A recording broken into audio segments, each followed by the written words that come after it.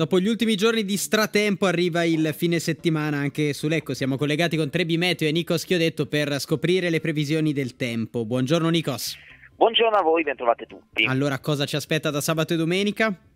Beh, la situazione vede sempre l'afflusso di correnti umide da ovest, anche se il fine settimana sarà abbastanza bello, quindi eh, insomma sole, a parte domani sera qualche rapido temporale dal Piemonte verso Comasco e Lecchese, però saranno fenomeni fugaci relegati alla serata di domani. Eh, domenica il tempo nuovamente abbastanza bello, quindi insomma poi domenica già in mattinata attorno al sole.